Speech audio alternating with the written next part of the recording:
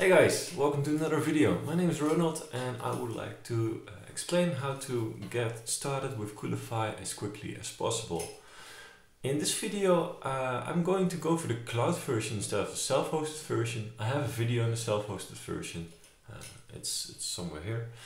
And um, yeah, let's get started. There's two things we need to, to go. Is uh, One is the Coolify Cloud. I already just paid that. And here's the pricing, which it is right now this time. Uh, you get for $5 two servers and free email notifications and email support. So that's number one that you need. Uh, number two is you need a server. So uh, I'm going to the Hetzner Cloud. In my previous videos I've used two servers over here. But for this video I'm going to create a new environment, new project and uh, creating a server in there. So in Hetzner uh, I say okay, add a server I'll be placing it somewhere uh, close by where I'm living. Uh, in my case, it's Falkenstein. I'm keeping this as Ubuntu, uh, putting this on this one. But I mean, you have you have lots of freedom to, to do so with other kinds of options, but this is what I'm choosing. Uh, as long as you get an SSH key, we're all good. And that can be also with any other type of hosting provider. You can always scale it up and down, uh, so there's not really a problem with it. Um, you can also go right away for something bigger, if, but that's all dependent on your needs. If you don't know, get started somewhere low, uh, either this one or this one, and get going. So keeping this all selected. Uh, I'm going to go without an SSH key. Uh, I'm going to create this within Coolify itself. Okay, go, go, go. I can do uh, backups over here of the server. Um, those backups are made by Hetzner. I cannot have them on my own hard drive, so that's a little bit of a thing with this. But if you really want to keep things simple, this is a good option to do so. Uh, for this tutorial, I'm going to keep this off.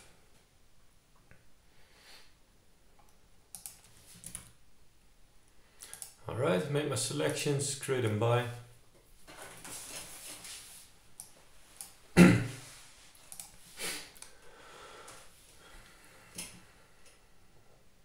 Okay, um, and so it's created. Uh, I'm getting my IPv4 address, which we will need uh, later on. I, I paid the $5 subscription, and once I paid, I get to see this. Welcome to Coolify. So let's get started. Uh, what is Coolify? Uh, okay, next. Uh, no, create one for me.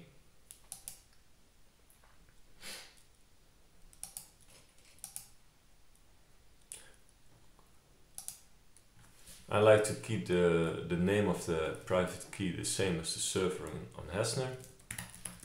Adding private key to it, just for myself. And what I'll need to do now is I need to add this public key to the uh, server, to the SSH authorization keys file. So let's do that. If you're not familiar with it, this is the terminal. Um, you can open this up over here and with the terminal, we can do things like logging into the server. And this is something we need to do to get this set up in Coolify, but once it's set up, there's not that much to do with the, the terminal anymore. So um, it's something to get through. So we get back to over here. So we can see the IP4 address. And uh, right now in the terminal, uh, we're on my computer, Ronald at Share Wisdom, that's the name of my computer. And what we'll need to do is we need to uh, log into the server. So SSH minus L root, so root is the username, and minus L is to show the list right after we finish this, and SSH is to log in.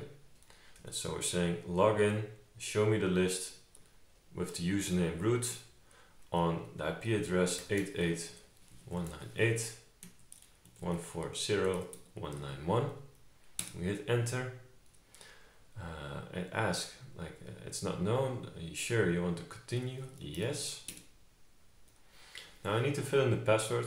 I just received that by email because I did not give any uh, SSH key in Hetzner. So I'm going to check my email and paste this password inside here. Okay, paste in the password, Command V. Um, you don't see anything change, that's the terminal thing. Um, the stuff you need to get a little bit used to. Um, now it's asking me to fill in the password again. So I just hit Command V again, hit enter. And I need to set up a new password.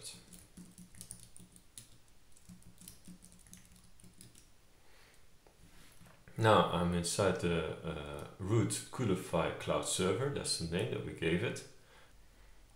Now I need to fill in two commands uh, because we have an Ubuntu server. I need to do apt-get update. This one is very quickly. And another one that takes a little bit more time. You know if something's ready if you see your server again. So root at Coolify class server. Now I know, okay, I can type something again. That's something good to know when getting started with the terminal. apt dash get upgrade, hit enter, uh, yes, continue.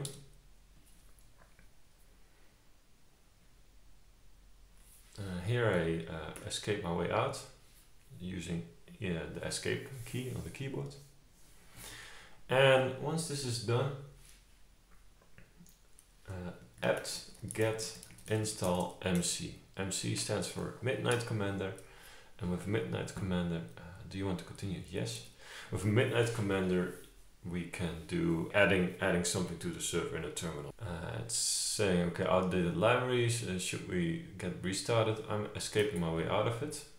And now I'm going to do cd, stands for change directory, space dot ssh. So uh, go to that uh, hidden folder uh, which is called SSH. and I'm typing in MC, so that stands for Midnight Commander to open it up. So I hit enter, MC enter. Then I get to see this blue screen. I see authorized keys and I do one arrow down. I hit enter